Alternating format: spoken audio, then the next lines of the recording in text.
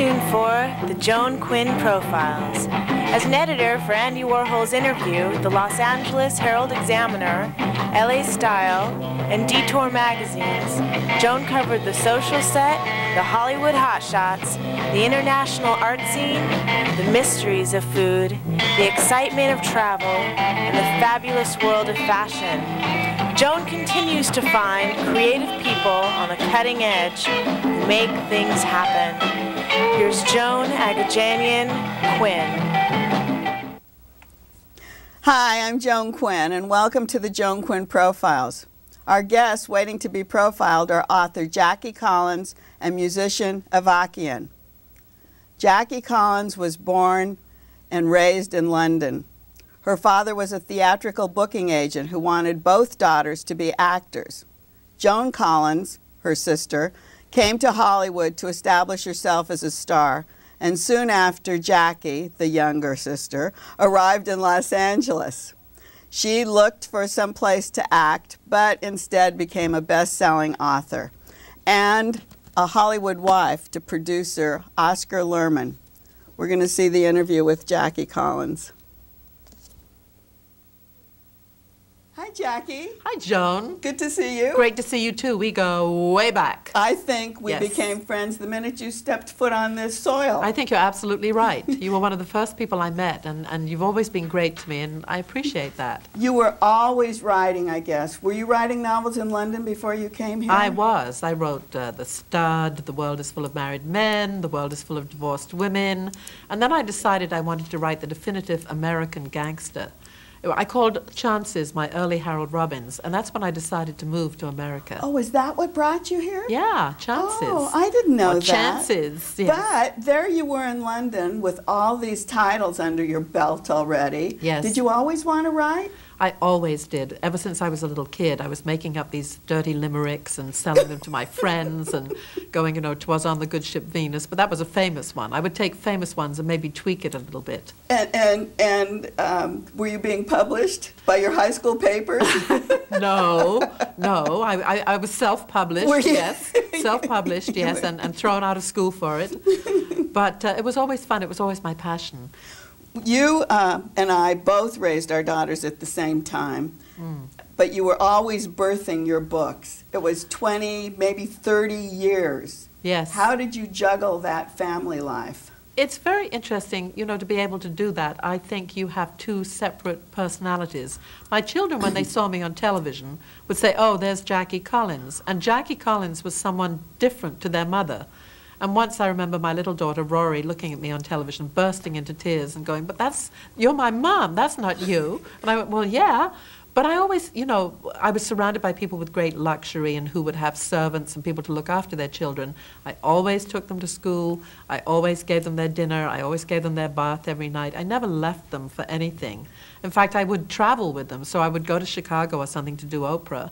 And uh, I would arrive with, you know, three children and my husband. Well, that's why I wanted to ask because I know you were always in the house with your husband, and no one could believe you were having this family life. And yet on the outside, you were doing these naughty, naughty things. well, I mean, you were writing these naughty I was writing naughty these naughty things. Right. Well, you know, I, as a storyteller, I think true storytellers, and I think that's why I have been lucky enough to still be writing and still be on the bestseller list because I'm a storyteller. That's what I do. I make up these incredible characters and I tell stories. And in Lovers and Players, I wanted to write about family, but it's an abusive family. And I thought it was interesting to create three brothers with a very abusive father. Red Diamond, the dysfunctional billionaire. And you were always in the world of the Hollywood genre. This is a new world, the business world, isn't yeah, it? Lovers and Players takes place over seven days in New York. And over those seven days, you will see two murders, you will see Russian hookers, you will see call girls, you will see mobsters, you will see family uh, kind of uh, massacre, well, you know, interactions, interactions, Right. family interactions. You will see a great love story with Amy, the beautiful New York princess. And then, of course, there's Liberty, my biracial 19 year old waitress. Well, I think what you've said just shows that you're always in the time. You're always Yeah. in the moment because bringing this Russian socialite in is so today, isn't it? Well, I, I'm a pop culture junkie. I just love pop culture. And uh, with Liberty, I wanted to introduce a hip hop mogul because, you know, I know a few of them and I thought they're interesting characters. Like you look at Diddy and you look at Jay Z and you look at uh, people like Russell Simmons, and to me, they're so fascinating and interesting. So I created Damon P. Donnell, who she falls in love with, and he falls in love with her. But he's married, and she won't sleep with a married man, Liberty. And she's connected to the Diamond family because her mother works as their housekeeper. But did you know these uh, hip hop kids and uh, some of the business people that you're talking about? How do you research that? Well, I knew them. I mean, I, I, you, you know, we go to the same parties. Right. I know these people intimately. And, and Red Diamond is based very much on several moguls that I've observed over the years, who shall be nameless. The other thing, you st- uh, talking about all the parties we go to and all the friends we have, do you still have the same friends after writing 23 New York Times bestsellers to your credit? You know, I do. I do. Uh, some of my closest friends um, I've been friends with for many years, such as Sidney and Joanna Poitier. In fact, little Sydney, Sidney Poitier's daughter, reads one of the roles on the audio. It was so much fun. I read the audio. I read the uh, Russian call girls. I was very good as a Russian call girl. See, I told you, see how trendy you were? and, and Sydney read Liberty and some of the other characters, the hip hop characters. And then Jack Scalia, an actor friend of mine, read the male characters. So it was so much fun. So instead of just being an audio with me reading it, which is what I usually do, it's an audio with everybody on it. Oh, that's the audio book. Yeah, the comes out. audio book. Do all of your books have audios? They do. Oh, my and, and we have uh, we have well usually I do them myself, but this time it's going to be And you produce that? I don't produce it, Oh. no, but I appear in it. But going back to when you first started in movies, you had The World is Full of Married Men, The Stud, The Bitch. Those were all made into movies, weren't they? They were all made into movies, yeah. In fact, the late Tony Franciosa, who just died this week, who was a wonderful actor, was in The World is Full of Married Men with Carroll Baker. And did you do that here? Uh, no, we did that in England. Oh, we made that in England. And um, then we did uh, The Stud in England and The Bitch in England. And then I wrote an original movie called Yesterday's Hero, which starred Ian McShane, who's found great fame on Deadwood. Oh, and people have fun going to my website because if they look up my movies and they go to Yesterday's Hero, they will find all these incredible uh, stills of uh, Ian as a football From hero. early before? Yeah, yeah. Did you like making movies? I love making movies. I love producing movies. I still do it. And the year before last, I did one uh, of my book, Hollywood Wives: The New Generation, which starred Farrah Fawcett and Robin Givens and Melissa Gilbert and Jack Scalia, and that was really fun. Do you help with the casting? Oh, absolutely. Yeah. Well, you talked about your Lucky character, and that was made into a miniseries, what, six hours or something like that? I wrote 10 hours of prime time for NBC, and Lucky was portrayed by Nicolette Sheridan, who's now found great fame on Desperate Housewives. and uh, her mother in the movie, because her mother is killed when she is five, was played by Sandra Bullock. Oh, my God. And once again, if people go to the website, jackiecollins.com, they can look up the stills from Lucky Chances and see Sandra and see Nicolette as Lucky. And that's really fun for people to do. They like doing that. Usually, when someone's book is made into a movie Yeah. or made into a TV series, someone else comes in and writes the screenplay. But you do that all yourself? I used to do it all Oh. myself. I did it for, for Lady Boss and Lucky Chances. And then after that, I thought, well, I'll let somebody else write the script for um, Hollywood Wives, The New Generation. But I executive produced it. You are a Hollywood wife, and you had to walk a fine line with your friends. Did any of them ever see themselves in your characters? Oh, yes. Oh, yes. They would uh, sidle up to me and say, Is that me? What is that me? It can't possibly be me. I mean, people love to play the guessing game in this town, as you know. Right, And they love success. But So do they want to be that character? They want, you know, I'm a big auction item now. A mention in a Jackie Collins book can raise thousands of dollars for a charity. That's which is so wonderful. Yeah. That's wonderful. You know, some authors have been uh, ostracized from their social groups because of what they've written and how they've Well, if I done. did a Truman Capote, not that I'm as talented as a Truman Capote because that man was a genius, but he actually, you know, he, he blotted his copybook by writing about all his friends in the most intimate way. Well, you know and I know that I have friends in this town that are all powerful. And maybe we see them in a different light than the general public, but if I wanted to write them warts and all, I could do it, but I yeah, wouldn't. but you wouldn't do that. I wouldn't do that. I mean, that. I've seen you in jewelry stores at Gucci, up and down Rodeo Yeah. Drive. I mean, on Madison Avenue, and um, you buy the same designer clothes and jewelry that all your I friends keep, do. I keep secrets. You know, do? I keep secrets That's- very well. That's uh, where you get your stories from those shops. Of course, but I also have a sense of humor about the whole thing and a sense of the ridiculous. And so I try to portray people so they won't quite recognize themselves, but maybe they'll recognize their best friend, even though it's them.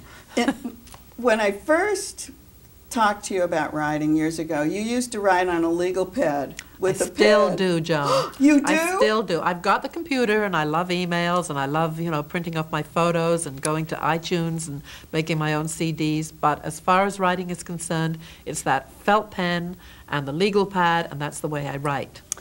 I couldn't believe that. I thought for sure after all these years you would No, have changed. No, I love it, and it's kind of like you know, it's to me that's writing. And when do when do you write?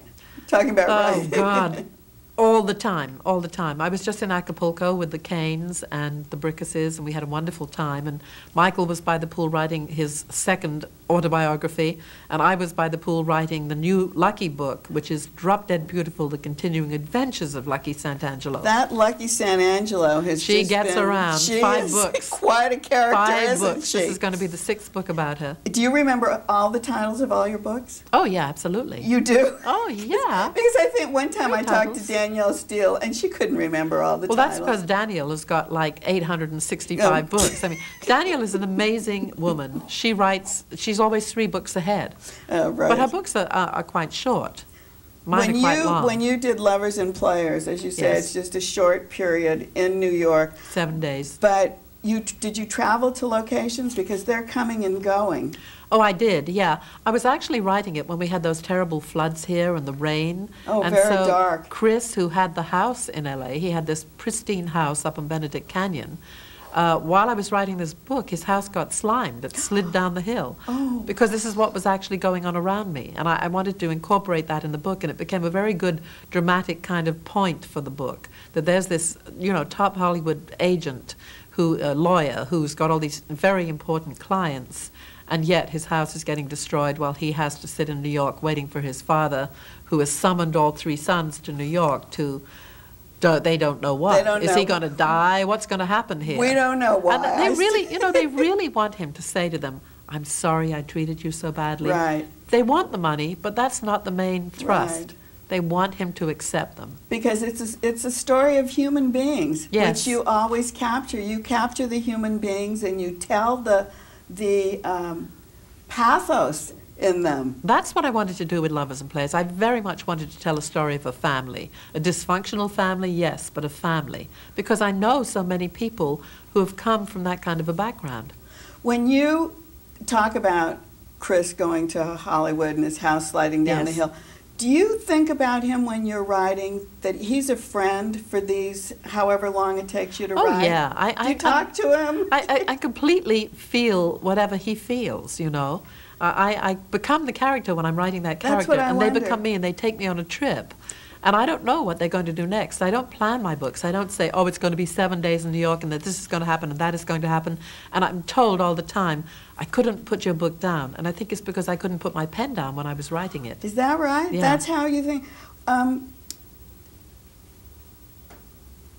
when you're when you're thinking about these characters Yeah. and they're alive to you, do you um, take the time to connect them? I mean, are you like this triple personality? I think is what I'm trying to ask. I think Because you have so many people. Yeah, you know, it's all in my head. They're all in my head, and they all have their own separate places in my head. So when I'm writing Liberty, I'm thinking only of Liberty, and Oh. maybe her mother, Diane, who's the housekeeper to Red Diamond. It's kind of, I do write kind of intricate books, but it's all in my head. There's no plan of what's going to happen next. Are you doing like one chapter and then going on to another chapter, or do you just write continuously? I write continuously. You do. Yes. So the story just yes. unfolds. So it never becomes boring for me because the story Oh. unfolds. And so I'll just get fed up with writing about one character and then I'll go to another character. Oh. And then by that time I'll be ready to get back to the other character. do you edit yourself along the way, or do I you do. wait? I, I'm a big editor of myself. So by the time I deliver the book, it's what you see, it's what you get. I mean, I, I don't want to be edited. I mean, you know, my editor might say to me, can you soften that line there or something like that, but I'm very minor editor because I've done so much myself by the time the book is finished. And then, um, as you edit, it goes to New York or wherever, and do they do very much more editing, or No, do no, you well, stop? but I, I, I never show them anything until I'm finished a book. oh, so they just get it Yes, finished. they get a finished manuscript. And then, do they say, "Oh, it's too many pages," or "Can you No, help us?" nobody's ever said that to me. No. I'm not saying no, no, I've never. I've, I've heard writers who've said, oh, you know, my editor said to me, put in some sex scenes. And I, I how can you put in sex scenes? The Or sex cut in it- my or books. them out. yeah, I'm, I'm, people say to me, oh, the sex is very sexy in your books because it comes in naturally, just like it does in life. If people are going to have sex, it just is there, you know. I don't think, oh, my characters are going to have sex today. Ooh, let's put on some good music. No, they, they just, it, it They just do. Yeah. What about Lovers and Players? How long did it take to write it? it took me about nine months. It's like having a baby. Yeah, just what I said. because I write books. yes, birthing books because I write in longhand. Well, let's see. You know, I've been writing for uh, 30 years, so I've got 24 books. I need to get six books out there quickly. Which was the longest? take to- Chances, it took you the longest to write. yeah. And why was it? Why did you struggle with it? I didn't struggle with it, but it's such a saga. I mean, if nobody's ever read me before, they should read Chances. Of course, they read Lovers so and Players right, first. Yeah, because I, I always call Chances my early Harold Robbins, and it takes place over 50 years, so there's so much research. And I was cutting back and forth between my black character, Carrie, who, who started off as a, a, a sort of a girl on the streets, and she became a great society lady in New York, and Gino. So it was Gino's story and Carrie's story, a black family and a white Oh, right, Italian family. Right, right. Well, we talked about your producing TV series and producing films. Have Have you ever thought of producing someone else's work? You know, I've never thought of that. I never have the time to do that. I'd like to. I, I think Would it would be interesting, yes. What about directing? And I also think I would like to do that too. But, you know, who has the time? No, I was just going to say before we leave, what do you do in your spare time? Well, uh, somebody's about to take an option on Lovers and Players, so I will executive produce that. oh, so we have a film coming up. We have a film coming up, Oh. and then also I'm creating with Jonathan Prince a, a two-part uh, novella for TV. So we'll see Oh. if that goes through or not. Because as everybody knows who works in Hollywood, until you sign on the dotted line, nothing is definite. Until you see that green light flashing in your eye, nothing is definite. But those are the two things I'm working on. Thanks, Jackie. Thank you, Joan. It was such a pleasure. Thank you. Great to see you again. Give my love to the kids. Thanks.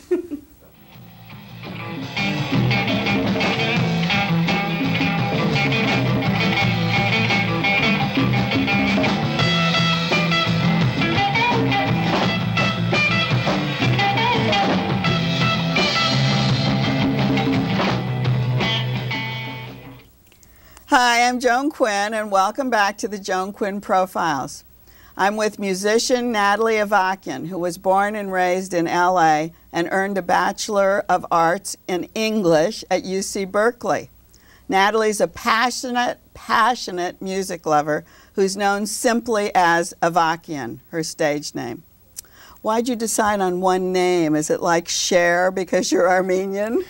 No, I think uh, for some reason I just wanted to simplify it, make it short, and Avakian really stood out to me. It's my own name, and it just is really concise and it says what I needed to say. Do you think it's easy for people to know uh, Avakian? Is it easy to say? Well, it's easy for me, but is it easy for others? It's it's difficult. People like have their own way of pronouncing it, whatever. But I, I will say it as it is, and people will learn it, and that's that's how it'll go. well, you went to Berkeley with an English major. What were you going to do with your English uh, work? Well, I, I went, I got that degree. I never really planned to have an academic life. I always wanted to do performing of some sort, acting, and I, I moved to LA after and sort of left that degree. and, and, and how did music come into it then? Are you a musician? I'm a musician. what do you Um, play? Um, I play, my background is on piano, but I do everything via MIDI on a computer. Oh, you do. yeah. So, did you go to computer classes? No, I sort of, sort of self-taught. I had a few friends that helped me out uh, with tips and things if I had questions, but I learned everything. But during your college years, um, it didn't occur to you to be an English major in any way? It didn't occur to me to be an English major. I mean, oh, not an English major, a music I mean, major. No, I mean, I- you were an English major. I was an English major. It didn't occur to me. I, I, it was something. It was like a deep dream of mine. But I'm like, Uh-huh. oh, you can't do it. You'll never do it. And then one day, I just realized I had to go for it, and it sort of evolved naturally. Did the English, back to English, I think it's on my mind, help you in writing your songs? Because you do write a lot of your songs. I do write all my songs. Uh, the English, I, I really wouldn't say help me. So you come from a Armenian family, which is usually close knit. I think. Yeah. Did they object to this uh, career? Because you can have, as you said in your uh, little thing that- bio, you could have gone both ways. You could have been an Armenian housewife, or you could have been an Armenian career person. right. Well, I think that they're nervous because it's it's a tough tough thing to try to strive to achieve. But they've always been supportive. I think they wish I had done something a little more uh, normal, which is what? which is I don't know, you know, like be a doctor, a lawyer, some kind of you know traditional career that's respectable. Although art is great, it's just a difficult road. Explain the music, how it came about, and you talk about doing it on um, computer. Uh, tell us a little bit what about what it is and how you describe it. Well, the music is basically my expression of how I decided to follow my path in life and focus on my heart's desire as opposed to what you know my mind was telling me would be good to do or what society's influences were including my family Right. and the whole album is about the struggles of following your path and sticking to it uh-huh. and how fears creep in and deter you and make you afraid and how you just got to fight through and get to where you need to go What did you call it? The, the name of the record it's called the good looking revolution So you were looking at revolution in many ways. What were the inspirations for writing these? I, I hear a lot of drum beats. everything is really beat driven i'm That's really right. into i'm really into the beats and it just sort of it just evolved it came out of me i can't really say that i thought about it it just the music was just a natural thing Um, I hear an ethnic mix a little bit. Would that have been a, any kind of influence? Well, I mean, clearly, I mean, my, my background has always been a huge part of, of who I am, and uh, I really love a lot of the sounds that I find in certain ethnic musics, and I just wanted to translate it in a modern way. That's I, I hear a lot of that. Um, I think when you were making this album, which you produced, I co-produced. oh, you co-produced. Um, people were telling you do this, do that, do this, do that, and did you follow those commercial mores that they were asking you to do or No. telling you to do? No, I really stuck to my guns and made sure that it was truthful according to what I wanted to say. Because I feel that good art is art that's true, as opposed to art that's copied or, you know, when, you, when you listen to others, you don't ever really say what you want to say. So actually, when you're composing this music, you use a computer. You don't use a piano. You don't have any. Well, I mean, I have a MIDI keyboard. Oh, you do have a keyboard. so it's a key, piano keyboard that triggers uh, programs on the computer. Pro Tools and Reason are the ones that I use. So and then, how do you do it? What do you start? How do you start doing something? Because you use it. You said you're going to use it to perform on stage. Mm-hmm. You need your computer. I mean, are you dancing with the computer? Are you holding it? What do no, you I mean, do? the, the computer will sit there and run the tracks, and uh, I And will. where are you? I'll be apart from the computer, dancing and singing. And did you take uh, classical dance? No, I don't have classical training, but it's in my blood. So So is it just a modern kind of dance while you're singing, or is it just background? it's well, it's it's a little bit of both. A little bit while I'm singing, while I'm not singing, when there's just musical parts in the song, and it's a little bit of uh, my ethnic roots with modern dancing. Well, with your ethnic roots, do you speak Armenian? Yes. Oh, you do. Did you? That's a cool thing, though, to Yeah. use the language in those kind of things. I actually I have a song where I uh, there's a backing vocal that is is actually an Armenian prayer and, lyric. and do you say it? yeah. And how? And do you know? Say what it is. Surpasvats, Ah. which is dear God. And is that just over and over in the Um, background? no, it's just it's it's in a particular part in the song. It's the background to the breakdown of the song. Oh, that's great. Have you written with other people? No, this this I wrote alone, and I did this all myself. In the future, it'd be great to collaborate, but I really wanted to. What I needed to say in this record, I needed to do on my own. So. That's what I wondered if you worked with someone else. And also, have you ever thought of putting together a band? I think eventually. I think right now I'm, I'm interested in doing a one-woman piece because it's it, it seems fitting to the music and the content. But uh, on the record, I had a, a a viola player, Miguel Atwood Ferguson. He came and played one of my um, melodies, and it was so amazing having uh, like just such a brilliant musician come and play. Um, and eventually, I'd like to to take it to that level. It's just sort of not happening right that now. that also is a different kind of a mood. Yes. The the the um, Well, they bring their own, they bring their passion into it. So you you have an artist who is taking what you've written and bringing their thing to it, which is always amazing. And then I have a producer named Yonatan who who really was my partner in crime on this and helped guide me and get me to where I needed to get to as an artist. So. so the next step. Where do we see Avakian going? Avakian will be playing soon. She'll be playing her shows, and um, I'll be starting in LA and hopefully going on the road.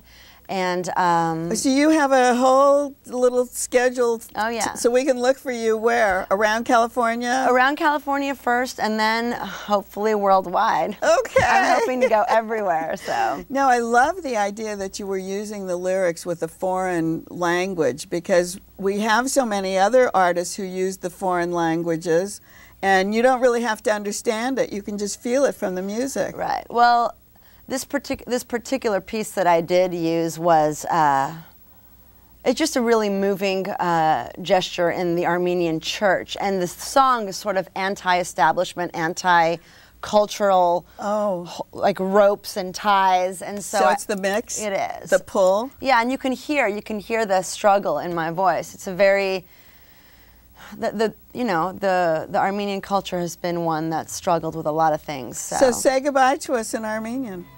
Um, oh my God, I'm blanking. I'm blanking. That's okay. how how does it go? Stay tuned. okay. Goodbye. Bye bye. and thanks for watching Natalie Avakian. Keep writing to 777 South Figueroa, 44th floor, Los Angeles 90017. See you next time on the Joan Quinn Profiles.